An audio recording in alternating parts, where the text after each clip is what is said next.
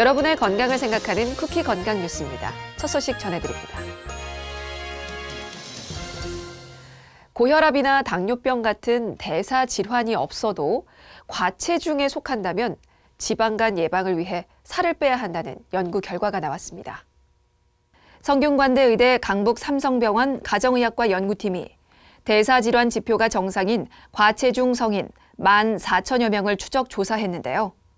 그 결과 체중 변화가 없는 그룹과 비교해 체중이 1에서 5% 증가했을 때, 그리고 5% 이상 증가했을 때 비알코올성 지방간 위험이 각각 21%, 51% 커졌습니다. 연구팀은 비만인 경우 대사질환 여부와 상관없이 규칙적 운동과 건강한 식습관을 통해 체중을 감량하고 비알코올성 지방간 위험을 줄여야 한다고 전했습니다. 발견이 어려워 치료가 까다로운 췌장암 환자 10명 중 6명이 6, 70대에 몰린 것으로 파악됐습니다. 국민건강보험공단 건강보험 진료 데이터에 따르면 지난 2020년 췌장암으로 병원을 찾은 환자는 2만 818명으로 이 가운데 60대가 전체의 30.1%, 70대는 29.7%의 비율을 보였습니다. 남성에서는 60대 환자가 32.3%를, 여성의 경우 70대가 29.4%를 차지해 가장 많았습니다. 췌장암 1인당 진료비는 2016년 941만 8천 원에서 2020년 1,339만 8천 원으로 42.3% 증가했습니다. 성인 당뇨병 환자는 이상 지질혈증 치료제인 스타틴을 기본적으로 처방받습니다. 하지만 일부 환자들이 복용을 임의로 중단하면서 우려를 낳곤 하는데요. 최근 이루어진 연구에서 이 스타틴 복용 기간이 길수록 심혈관계 질환 발생 위험이 낮아지는 것으로 나타났습니다. 고려대 안암병원 내분비내과 연구팀이 성인 당뇨병 환자 8천여 명의 자료를 분석했습니다.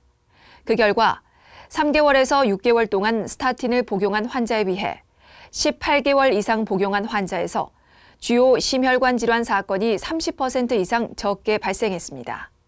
연구팀은 스타틴의 강도, 복용 기간, 치료 뒤 나쁜 LDL 콜레스테롤 농도를 비교해 보니 스타틴 복용 기간이 심혈관 질환 사건에 가장 큰 영향을 미쳤다고 덧붙였습니다. 국내 1인 가구의 비중이 30%를 넘어섰죠. 1인 가구는 영양 불충분 등 건강 위해 요인을 더 많이 갖는 것으로 알려져 있는데요. 최근 분석에선 하루에 담배를 25개비 이상 피우는 고도 흡연 가능성이 1.5배 높은 것으로 확인됐습니다.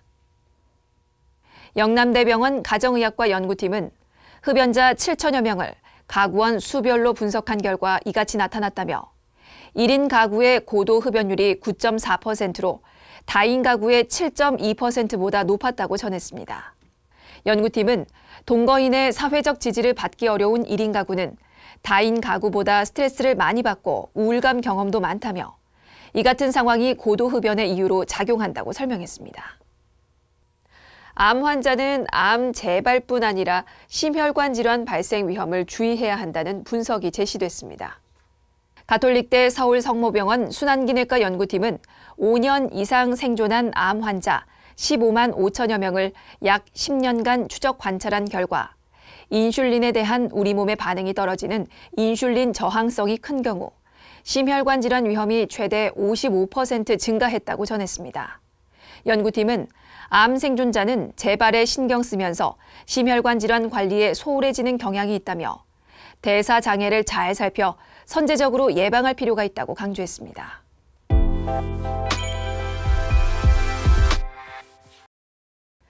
눈이 뻑뻑할 때 가장 먼저 찾게 되는 것, 바로 인공 눈물약이죠. 부족한 눈물을 보충해주는 인공 눈물약. 눈물과 비슷한 pH 농도를 가진 점안액인데요. 눈물의 주 기능인 안구 표면의 윤활 및 세척, 외부 자극 및 이물에 대한 보호뿐만 아니라 선명한 상을 망막에 전달하는 기능을 돕습니다.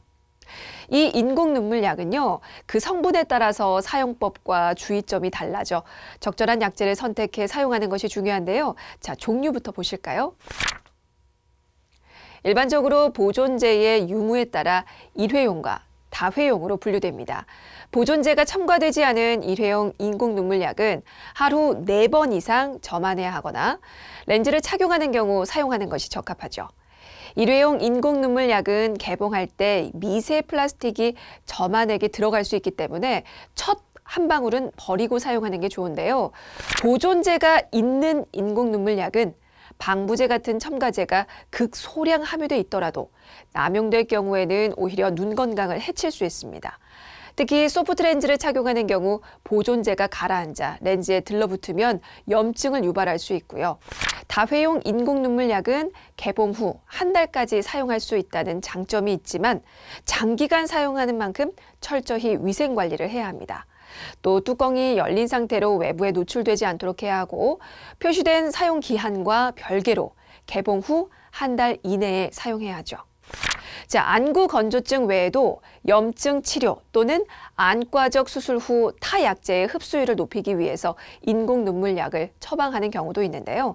자, 이렇게 인공 눈물 약과 함께 여러 안약을 넣어야 하는 경우 액체부터 연고순으로 투약하며 흡수를 돕기 위해 한 5분에서 15분 정도의 간격을 두고 투약하는 것이 바람직하고요. 한 번에 많은 양을 넣게 될 경우 눈에 머금을 수 있는 양을 초과해서 흡수가 이루어지지 않아 효과가 떨어질 수 있습니다. 따라서 한 번에 한 방울씩 투약한 후에 잠시 눈을 감아 흡수를 돕는 것이 바람직합니다. 자, 그리고 인공 눈물 약을 점안할 때 용기 입구가 눈에 닿으면 결막이나 각막에 상처가 생길 수 있고 용기 입구 부분이 오염될 수 있기 때문에 직접 접촉하지 말고 위에서 떨어뜨리듯이 넣어야 하고요.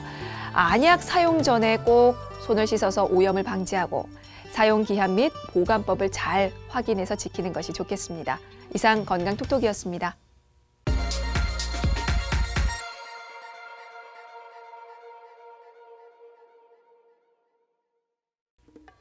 쿠키 건강 뉴스를 마칩니다. 시청해주신 여러분 고맙습니다.